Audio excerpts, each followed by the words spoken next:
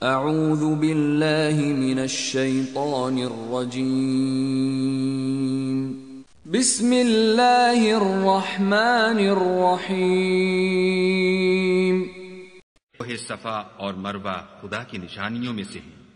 تو جو شخص خانہ کعبہ کا حج یا عمرہ کرے، اس پر کچھ گنا نہیں کہ دونوں کا طواف کرے، بلکہ طواف ایک قسم کا نیک کام ہے۔ اور جو کوئی نیک کام کرے تو خدا قدر شناس اور دانا ہے۔